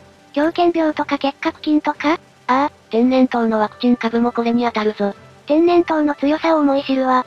人類が唯一撲滅できた感染病で、ワクチン株を除く天然痘ウイルスはレベル4だ。そのレベル4はどういう定義なの？レベル4は生死に関わる重篤な症状を引き起こし、容易に人から人に感染し、有効な予防法や治療法が確立されていないものだ。対処のしようがない感じのレベルなのね。だからバイオセーフティレベル4の施設では化学防護服の未着用は厳禁だし、名簿にない人間は入ることすら許されない場所だ。エボラウイルスや今後出血熱ウイルスを取り扱っている。ニュースでめっちゃヤバい病気として扱われてるやつじゃない。有効な予防法や治療法がないんじゃそりゃ国に入れないことに力を注ぐわ。ドラマとかでよく危ない生物兵器として、炭疽菌持ち出して都民を人質にとってっていうシナリオがあるけど、炭疽菌はどれくらい危ないものなの？レベルで言えば3だ。4じゃないのね。それだとそんな頻繁に持ち出せないだろ。現状日本には一つしかバイオセーフティレベル4で稼働してる施設はないんだから。いくらドラマの話とはいえそれもそうね。炭疽菌は炭素症といって羊やヤギから人に感染する病気だ。炭素は炭のかさぶたという意味で、皮膚炭素では肌に炭を入れたようなかさぶたができ、高熱が出る。幸いなのは人から人へは感染しない点だ。それは良かったわ。怖いのは肺炭素症で空気中から肺に取り込まれるとインフルエンザのような症状の他に、海や血痰を出して呼吸困難になる。48時間未治療の場合の死亡率は90%を超えるぞ。エボラ出血熱でも致死率は40から70%だからその凄まじさがわかるな。怖すぎるわ。人に感染はしないから隔離は必要なく、手遅れでなければペニシリンなどの抗生物質で治療可能だ。早期治療で助かるのね。ああ、炭疽菌は第二次世界大戦以降、生物兵器として各国軍事機関で研究された歴史を持つ。1942年にイギリス軍がスコットランド西岸にある無人島、グリュナード島で炭疽菌を散布する実験を行ったり、ソビエト連邦のスベルドロフスクにあった生物兵器研究所では、1979年に炭疽菌が漏出する事故が起こり、周辺住民96人が感染し、66名が死亡したそうだ。実験に事故はつきものって思いたくはないけどひどいわ。別の文献によるとこの事故によって市民や軍関係者が1000人死亡したと推定されていて、軍事アナリストやロシア国民は生物学のチェルノブイリと呼んでいる。チェルノブイリ原発事故もひどかったものね。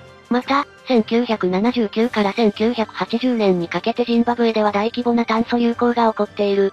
炭素菌って人から人へは感染しないのよねああ、当時ジンバブエはローデシアという名前で内戦状態にあった。内戦前は都市に十数件しかなかった炭疽菌感染が1万人に及んだため、生物兵器が使われたとも。動物へのワクチン接種が行き渡らなかったせいだともされていてその真偽のほどは分かっていない。人為的だったら怖いわ。内戦後は炭素流行が急激に収まったもの今でもジンバブエは比較的に炭素発生が高い地域だ。イギリス軍が実験を行ったグリュナード島は当初計画していた除染計画では完全に炭素菌を除去しきれず、画法として残存し続けることが判明して以降40年間放置されていたから、疑いが向くのは当然だな。一旦除染したのにその後も40年残るなんてすごいわ。ホルマリンで除染されて立ち入り禁止も解かれてはいるが今でもグリュナード島は無人だ。そんなところ誰だって入りたくないわ。オウム真理教も地下鉄サリン事件の前に炭疽菌を散布していたが、もろもろの理由で幸いにも被害者はなかった。それは良かったわ。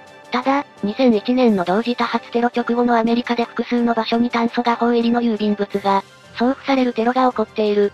このテロで5人が死亡した。そんなひどいことがあったのね。だから世界で郵送物に対する注意が呼びかけられ、一方でいたずらで白い粉を送付するバカも現れた。白い粉を送ったバカどもは人間社会に向いてないから一生牢屋に入っててほしいわ。人としてまともじゃないよな。このテロで、危険な病原体に対する研究を問題視する声が上がったり、主要な科学雑誌でもテロに応用可能な、論文を載せるかの是非が問われるなど社会に大きな影響を与えた。学問は誰にでも開かれるべきものだけど性善説で全てを公表すべきかは考える必要があるわね。レベル3の細菌で有名なのはペスト菌だな。フランスのサッカールベール・カミュがそれを題材に小説を書いてたわね。国死病とも呼ばれ、1347から1353年にかけて、流行した際にはヨーロッパの全人口の3分の1を死に追いやった。人類史上最も致死率の高かった病原菌だ。でもレベル3だから今は有効な治療法があるのね抗菌薬を使った治療がある。早期に投与することで治癒救命が期待できるぞ。ワクチンは残念ながら十分な効果がないため現在は使用されていない。それじゃあどうやって予防すればいいの？ペストはそもそも月種類に流行する病気で主にクマネズミがかかるとされている。ペストにかかった月種類の血を飲んだのみが人間に吸血する際に、のみの唾液が人体に入って感染するんだ。だから山でリスや動物の死骸に近づいたり、流行地で野生動物や、感染が疑われる家畜、ペットには触らない方がいい。動物についてるのみが自分についたらペストになっちゃうのね。そういうことだ。ペスト患者などの感染源に接触するときはあらかじめ抗菌薬を投与することで、高確率で発症を防ぐことはできる。でも怖いわ。今コロナが流行っているけどどうにか暮らしが成り立っているのは、命がけで働いてくれる看護師の方や医者がいるからだって身に染みるわ。できるだけ感染しないように行動しようってなるな。当時のヨーロッパでペストが流行った理由としては水道が整備されてなくて毎日体を洗う習慣がなく、本来ヨーロッパにいるはずのないクマネズミが、十字軍遠征の船に紛れ込んでやってきたことが挙げられる。自分たちが掲げる神のために聖地を奪還しようとしたのに、それによって死ぬってなんだかなって思うわ。キリスト教は100年戦争とかで争ってるしイスラム教はタリバンがあんな状態だから、宗教を信じてる人を見ると何がいいんだろうって思っちゃう。日本も統一教会問題があるしな。ペスト菌は体内に入るとリンパを通って、首、脇、片足の付け根あたりのリンパ節に溜まり拳次第に膨れる。ひえー。それによって高熱や皮下出血が起こり、皮下出血が黒ずんで見えることから黒死病と名付けられたんだ。この症状を1000ペストと言って80から90%のペスト患者がこれに当たる。ということはペストにはいくつか種類があるの？ああ、他に肺血症ペストと肺ペストというものがあって、肺血症ペストは傷口からペスト菌が直接血液内に入った場合にリンパ節の症状がないまま、突然ショック症状が現れ全身が皮下出血で黒くなり高確率で死亡するものだ。もちろん線ペストや肺ペストから肺血症ペストになることもある。症状が出ずに突然そうなるなんて恐ろしいわ。全体の10%が肺血症ペストだそうだ。そして最も恐ろしいのが肺ペストだ。これよりさらに上があるの？線ペストが進行して血液中にペスト菌が入った泡肺血症ペストによってペスト菌が肺の中に逆流する。これが肺ペストの状態だ。とにかく血液中にペスト菌が入るとダメなことが分かったわ。肺ペストは重篤な肺炎の症状を起こして死に至る。また、肺ペスト患者から感染すると直接肺ペストになってしまう。それは怖いわ。この場合の潜伏期間は12時間から2日と極めて短く、肺ペスト発症から死に至るまでも12時間から数日だ。だから発症してからいかに早く治療を受けるかが生死の分かれ目になる。肺ペスト状態でも助かる方法があるのね。抗生物質を使うんだ。ペストは今でも感染者を出しているが、肺ペストは2%くらいだ。怖いけど数自体は少ないのね。ただ、流行すると肺ペストの割合は多くなる。まずはかからないようにしなきゃね。最後に紹介するのはボツリヌス菌だ。ボツリヌス菌ってよくわからないけど危ないイメージがあるわ。赤ちゃんに蜂蜜や黒糖をあげちゃいけないとかは、聞いたことがあるけど詳しいことは知らないのよね。ボツリヌス菌の扱い自体はレベル2でインフルエンザやノロウイルスと同じ区分ではある。炭素菌やペストよりは下の扱いなのね。ボツリヌス菌が大流行とか聞いたことないだろ。確かに、ボツリヌス菌は19世紀のヨーロッパでソーセージやハムを食べる人がなる食中毒として知られていて、ハムやソーセージに発色剤として使用される亜硝酸塩は、ボツリヌス菌の繁殖を抑える目的で使用されている。ボツリヌス菌って食中毒を起こす菌なのね。ああ、ボツリヌス菌で起きる食中毒にはレイムが言った乳児ボツリヌス症と、ボツリヌス毒草食品と共に摂取した際に起こるボツリヌス食中毒がある。大人も子供も関係ないのね。でも乳児とわざわざついているのは乳児は成人に比べて腸内細菌層が未発達であること。消化管が短く、成人では胃で不活化されるボツリヌス菌が、乳児では小腸の腸管にまで届いてしまうからなんだ。だから蜂蜜をあげちゃいけないのね。ただ、成人腸管定着ボツリヌス症といって、乳児ボツリヌス症のように成人でも消化管内で、毒素が産生されて発症するものもある。大人でも赤ちゃんと同じになる人もいるのね。他にもアメリカの麻薬使用者で確認されている、傷口にボツリヌス菌が増殖する総称ボツリヌス症もあるぞ。麻薬を打つのに注射器を使うからなのね。日本でもそうやって麻薬を使う人がいないわけじゃないが、今のところ届けではないそうだ。バレたらやばいもんね。ボツリヌス菌の症状は乳児ボツリヌス症では便秘で気づくことが多いそうだ。そうなの？多くは3日以上続くという統計がある。赤ちゃんなのに3日も便秘ってやばいわ。ボツリヌス毒素は主に四肢の麻痺を引き起こし、最悪呼吸筋が麻痺することによって死に至る。乳児は便秘の後、首の座りが悪くなり、不活発、哺乳力低下や泣き声が弱くなることが確認される。赤ちゃんが静かな時はいたずらしてるか病気だって言うけどそのものね。乳児に対しては基本対症療法のみで、退院後も数ヶ月は便からボツリヌス菌が排出されるから、保護者に対して排泄ケアの指導が入れられるんだ。そんなに長く体内に居座るものなのね。だから絶対に赤ちゃんに蜂蜜や黒糖をあげてはいけないんだ。知らなかったでは済まされないぞ。そもそも他人の赤ちゃんに食べ物をあげるっていう発想すらないわ。怖いもの。自分の赤ちゃんでも色々悩むのに他人の赤ちゃんに食べ物をよこす人間がわからないぜ。ボツリヌス食中毒は減塩食品を食べてから8から36時間以内に、吐き気や嘔吐、視覚障害、言語障害などが見られる。ボツリヌス菌の治療では高毒素が使用されるぞ。ボツリヌス菌も早期発見早期治療が大切だ。予防はどうするの？現在は自家製の瓶詰めとか、レトルトに似てるけど120度で、4分の加熱処理を行っていない密封容器で確認されている。大体は開封時に匂いがおかしいとかでわかるから、食べないことだな。自家製の瓶詰めは保存方法と消費期限をしっかり守るんだ。なるほど。ボツリヌス菌は第二次世界大戦でアメリカが準備しただけで終わり、オウム真理教が兵器としての使用を試みていたから生物兵器としての懸念が拭えていない。しかも2013年には史上最強の致死性物質として8つ目のボツリヌス菌が発見された。8つ目のボツリヌス菌？ボツリヌス菌にはもともと7つの系統樹があって、乳児ボツリヌス症の乳児の便を調べていたところ偶然発見されたそうだ。実験で作り上げたわけじゃないのね。